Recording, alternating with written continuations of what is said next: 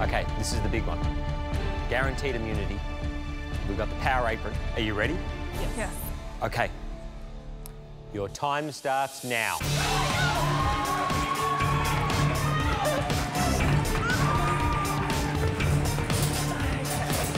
I'm just going to go with my gut instinct and cook Hainanese chicken soup with fresh noodles and a chicken roulade.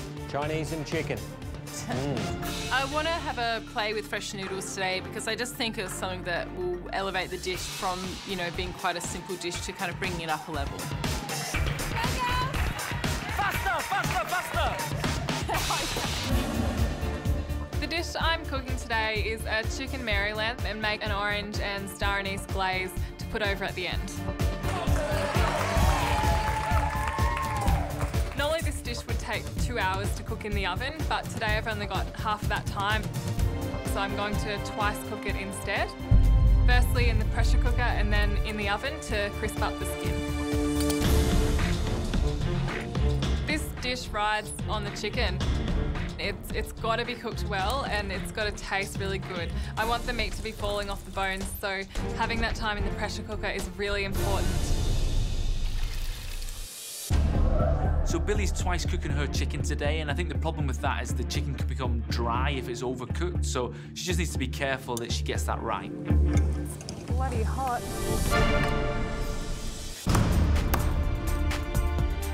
First thing I've got to do is to get my chicken roulade on. What, Jesse?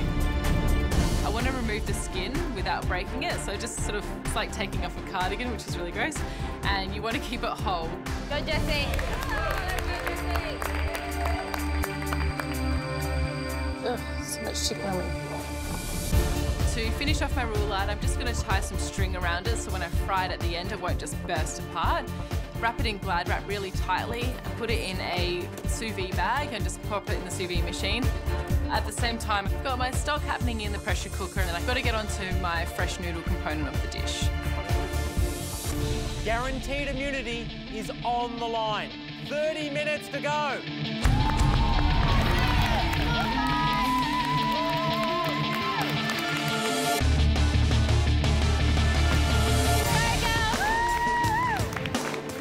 My chicken's in the pressure cooker and I need to get onto this uh, orange glaze. So I get some orange juice, some orange flesh, uh, cinnamon, star anise and sugar and cook that down in a saucepan until it's like a syrup.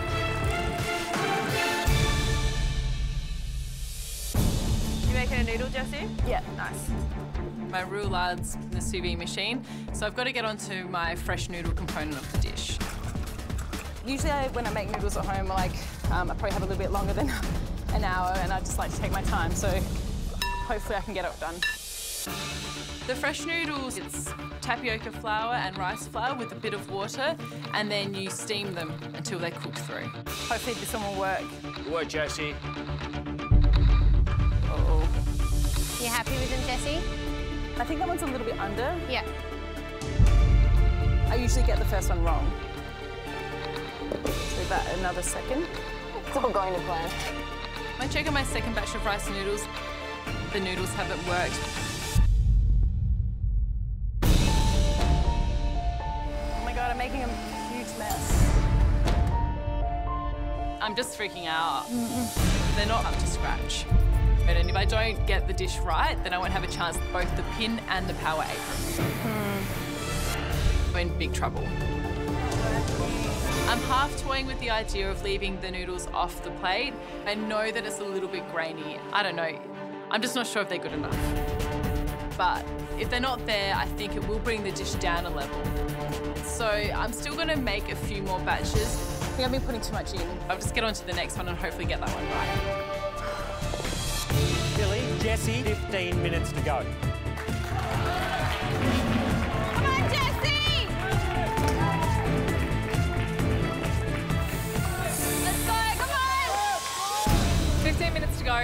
Time to get my chicken out of the pressure cooker. I need to get it out so that I can glaze it and have it really brown and sticky, ready for service. This is the second part of twice cooking this chicken, so I have to be really careful not to overcook it.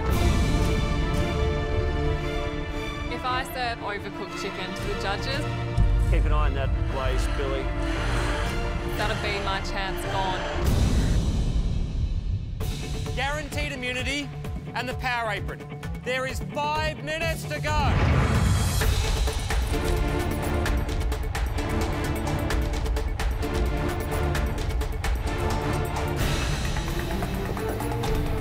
The rice noodles are pretty much just staying the same, and I just don't think they're going to get any better. I can't afford to waste any more time on them. Nah, I'm gonna get rid of them. Yeah, I have to call it now. It's not worth the risk of not putting up a complete plate. I know that there's some vermicelli in the pantry, so I can cook that in no time at all and put that on the plate.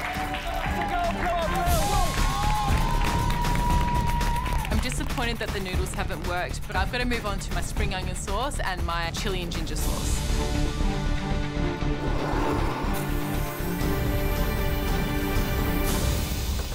Home stretch, one minute. Time to get plating. Jesse, make sure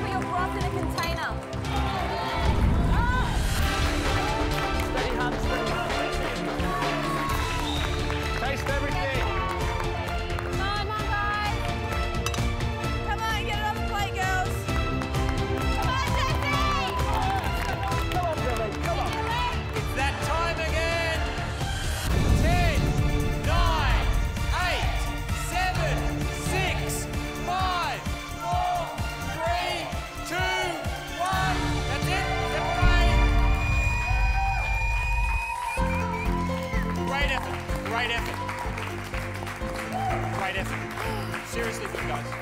Well done. I'm a little bit disappointed about my noodles, but all in all, I, yeah, I'm really happy with my dish. Um, there's a lot at stake with this cook today. I just hope I haven't overcooked the chicken. A lot on the line, obviously. The power apron, which everybody wants, and more than that, they want the immunity pin. So both up for grabs from this cook. Let's get the first dish in.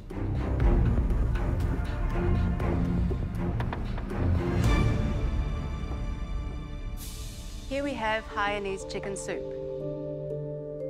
Looks nice, doesn't it? Yeah, it does. You know, a bit of technique shown on the chicken. Let's try it.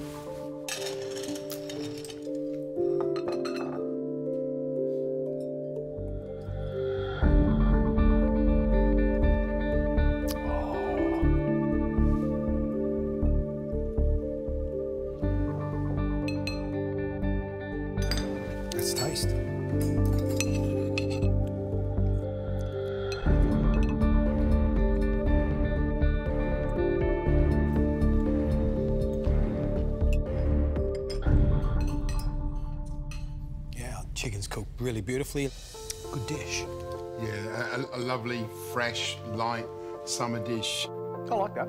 I think it's, it's a really nice, refreshing look at a, a classic, which is Hainanese chicken. But you know what? Would have, what would have been great is if they'd had a go at making their own noodles. Right, shall we score the dish? Yes, let's.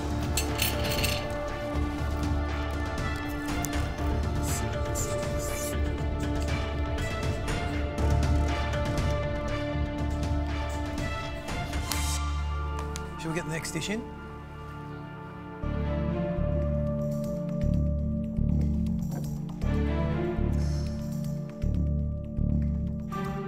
Here we have twice cooked orange and cinnamon glazed chicken.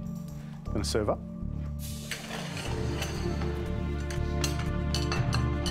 Well, I think the, the key here will be if it's twice cooked, the risk is always that um, that could mean fall apart and delicious or cook too much.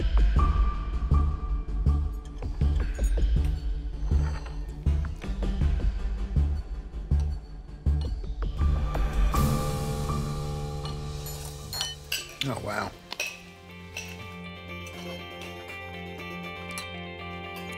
I'm not leaving this one undone. You can chat away if not. Salty, sweet, uh, fragrant, acidic with the orange. Chicken cooked absolutely beautifully. So it literally, look there, falls off the bone. Love every bit of it.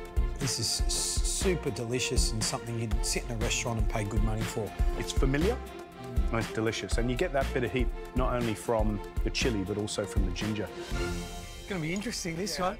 Two good dishes.